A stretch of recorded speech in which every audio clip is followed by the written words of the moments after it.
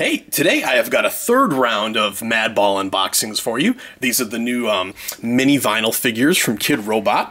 And if you want to see either of the previous videos I've done of unboxings for these, I got the links right here for you. So far I haven't gotten any doubles, which is really lucky. and hopefully with these five new ones I have here, you're not going to get any doubles this time. So let's dig into these and see what the first one is.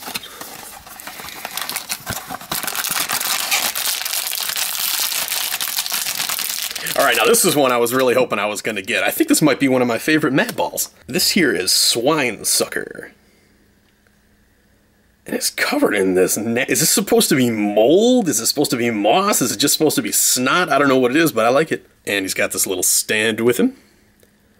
Let's get him situated on there. And number two. Ooh, now this one is one of the more rare ones in the series. This one here is Lock Lips. Oh, actually, yeah, that one, there's a 3 out of 40 chance, or no, 3 out of 80 chance in finding Lock Lips. So that one, that one is pretty rare. And let's get a little close-up of him here. It's kind of just like a nastier version of Swine Sucker. Get him set up on his stand. And let's go in for number three. Ooh, and this one's another classic one right here. For this box, we've got Skullface. A little bit of brain poking out there. And actually, this one's this one might be one of my favorite ones I've gotten so far. Let's get him on his stand. There we go. And here we go, number four. Oop, we got Slobulus. There we go. That was one I was really hoping I was going to get.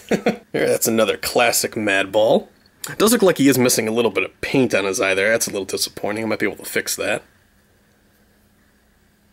Some stitching in the back. Uh, got a little plate on the top of his head.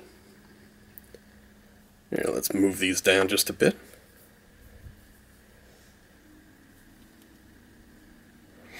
Alright, in the final box. We're pretty lucky though so far. Oh, wait, no, hey, we got Hornhead here. That's three classic Madballs in a row.